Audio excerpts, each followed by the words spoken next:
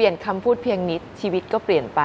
ถ้าวันนี้เรายังพูดบางอย่างเดิมๆ มันทำให้ mindset ของเราเหมือนเดิม หลายๆ คนชอบติดคำว่าขอโทษ เวลาที่เราพูดคำว่าขอโทษออกไปอะ mindset เราจะเป็นยังไงหรอ มันก็จะคอยโทษตัวเองอยู่นั่นแหละ ขอโทษในสิ่งนั้น ขอโทษในสิ่งนี้ ยิ่งขอโทษมากเท่าไหร่ มันก็ยิ่งโทษตัวเอง และยิ่งตำหนิตัวเองไปเท่านั้น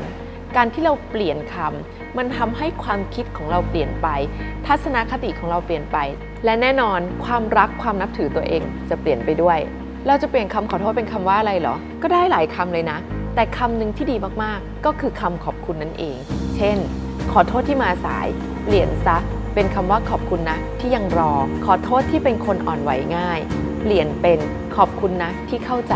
ขอโทษที่ทำให้ทุกอย่างวุ่นวาย ก็เปลี่ยนซะ เป็นขอบคุณนะที่เข้าใจฉัน ขอโทษที่ต้องคอยให้ช่วยเหลือ เปลี่ยนเป็นขอบคุณนะ ที่คอยช่วยเหลือกัน ขอโทษที่ฉันพูดเยอะไป เปลี่ยนเป็นขอบคุณนะที่ช่วยรับฟัง ขอโทษที่สร้างความเดือดร้อนให้ เปลี่ยนเป็นขอบคุณนะที่เป็นกำลังใจให้เสมอ ขอโทษที่ฉันดีไม่พอ เปลี่ยนเป็นขอบคุณนะ ที่มองเห็นข้อดีของฉัน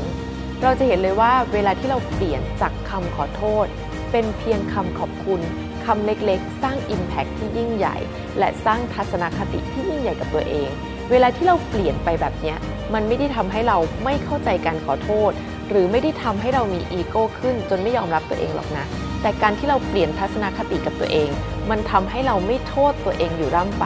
และเชื่อเถอะเราจะดีขึ้นเรื่อยๆ ติดตามเรื่องราวดีๆ ที่หาไม่ได้จากที่ไหน ต้องพอดแคสต์อภัยรักตันเท่านั้น ฟังต่อได้ที่ SoundCloud Spotify และ Podbean สินเสมอแล้วเจอกัน เอ อภัยรัก์